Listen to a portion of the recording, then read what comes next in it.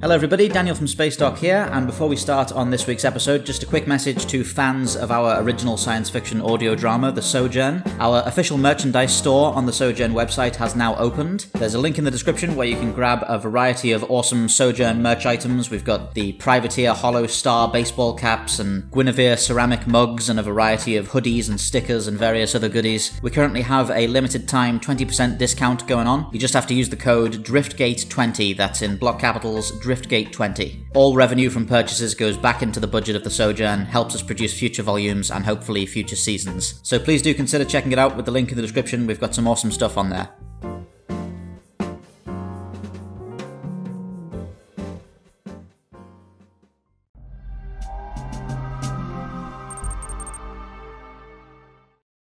Hello everybody, Daniel from Space Dock here. Now, I've seen a lot of people online in the last few years who have questioned why the spore drive was never dug up as a means of rescuing the USS Voyager in the 2370s. Obviously, the meta reason is that the spore drive concept hadn't been invented in Star Trek yet, but just for fun, let's try and think why this wouldn't have been done in universe. I think we have enough information given to us in Discovery to provide quite a satisfying explanation for this. Now, the first point, of course, is that in the 2370s they don't have a spore drive, so they would have to build a new one, and they would have to do this without the assistance of its original two designers, who are both presumably dead by this point. One of them's definitely dead, and the other one, if he is dead, is in 900 years into the future. And they don't have access to any of the original hardware, and most importantly, they don't have any of the necessary documentation or designs because they were all classified and possibly destroyed in order to keep them out of the hands of Section 31. But if we assume they somehow overcame all of this and built a spore drive in the 2370s, they've still got further problems. For one thing, you need a navigator to use with the spore drive, and using the spore drive without a navigator is first of all quite short range, relatively speaking,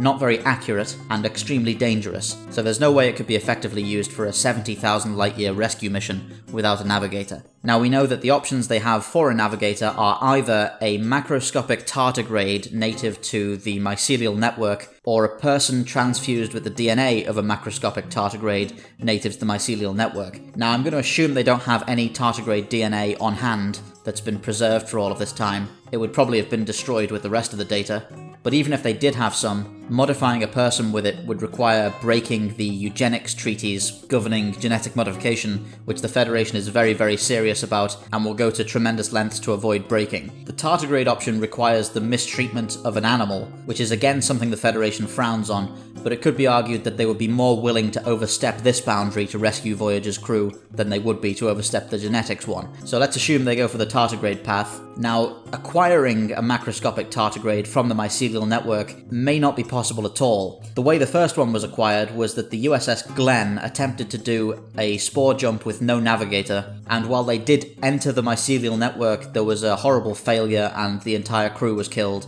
and as a coincidental result of this, a tardigrade appeared on board their ship. Now, it might be literally impossible to recreate this scenario, and even if they could, it would require significant loss of life and a great deal of risk just to maybe acquire this creature. And even if they did acquire the tardigrade, we've seen that jumps performed with the tardigrade on board as the navigator are less accurate, less controllable, less reliable than an increasingly experienced human navigator like Stamets was. Even if they got everything working, they would then need to travel 70,000 light years there and then 70,000 light years back. The farthest we've ever seen the spore jump go is 50 something thousand light years to Terralysium. Now, it's entirely possible that it can go the entire 70,000 light years at once, or they could be able to go there in a series of hops, but in order to do that, they would need a significant supply of the Prototaxites stellaviatori spores that are used in the spore drive, which are also extremely rare and probably much more rare in the 24th century, as there hasn't been any reason for the Federation to deliberately grow them anymore.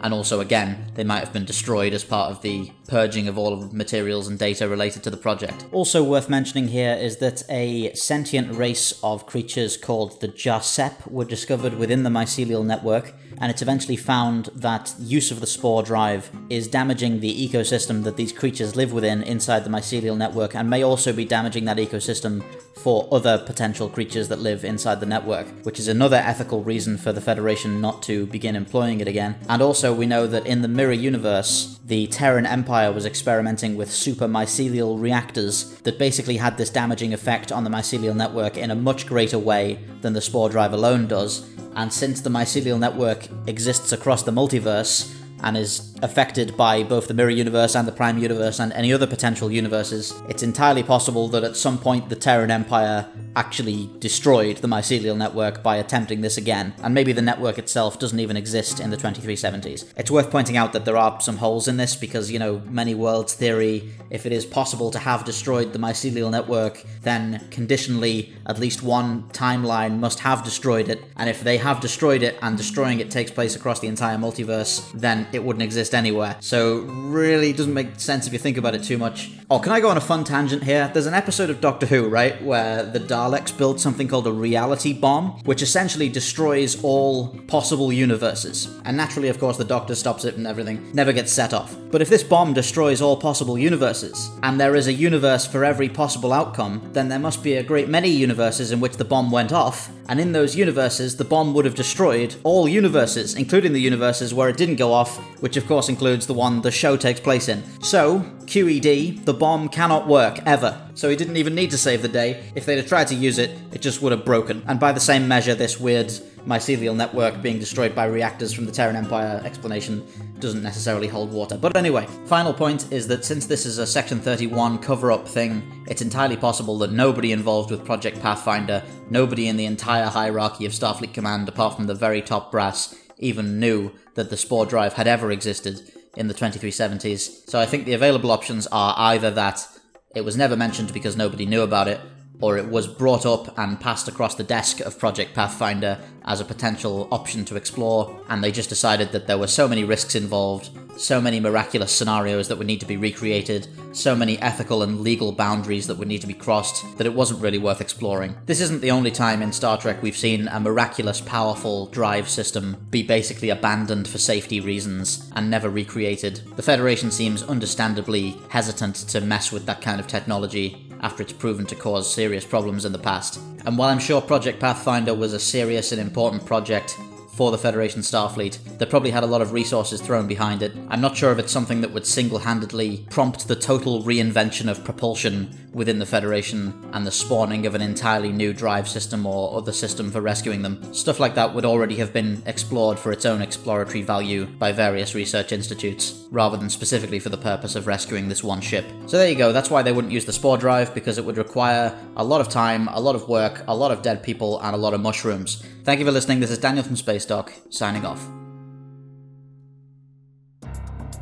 Thank you for watching Space Dock. If you're interested in supporting the channel, please do check out the links on the screen right now or in the description below for our Patreon and channel membership services. Anything you can pledge goes towards improving our team and our equipment and allowing us to put together bigger and more exciting video projects for you guys on the channel.